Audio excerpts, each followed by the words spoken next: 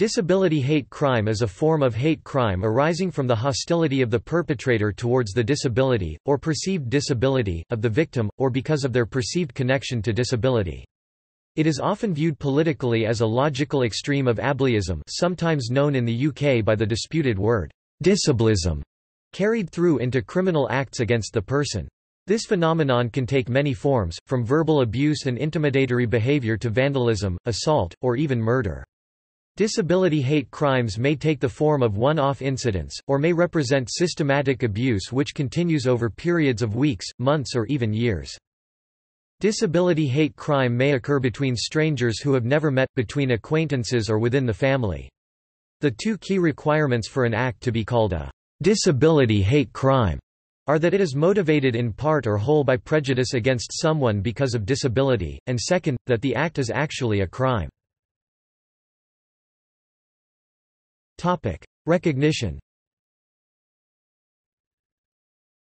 Sir Ken MacDonald, QC, the then Director of Public Prosecutions for England and Wales stated in a speech to the Bar Council in October 2008 that, "...I am on record as saying that it is my sense that disability hate crime is very widespread.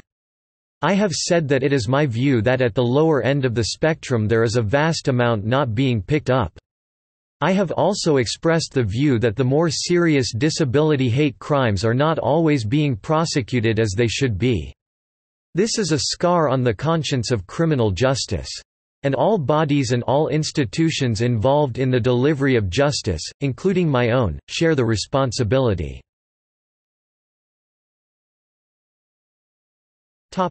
Legal status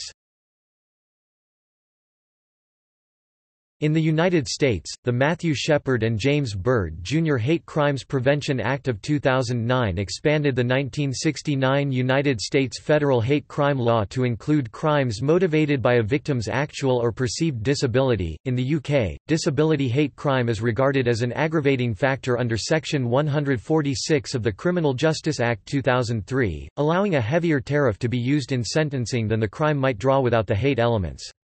Section 146 states that the sentencing provisions apply if a that, at the time of committing the offense, or immediately before or after doing so, the offender demonstrated towards the victim of the offense hostility based on i the sexual orientation or presumed sexual orientation of the victim, or e a disability or presumed disability of the victim, or b that the offense is motivated wholly or partly I by hostility towards persons who are of a particular sexual orientation, or e by hostility towards persons who have a disability or a particular disability. The test in section 146 is deliberately one for evidence of hostility rather than hatred as the seriousness of the offense was considered to justify the application of a less strict test.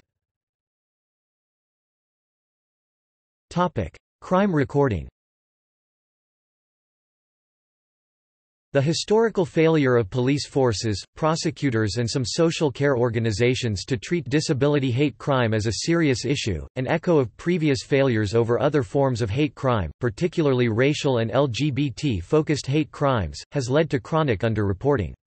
This underreporting is both preemptive, through a widespread belief within the disabled community that they will not be treated seriously by law enforcement, and post facto, where police forces investigate the crime as non-hate based and record it as such.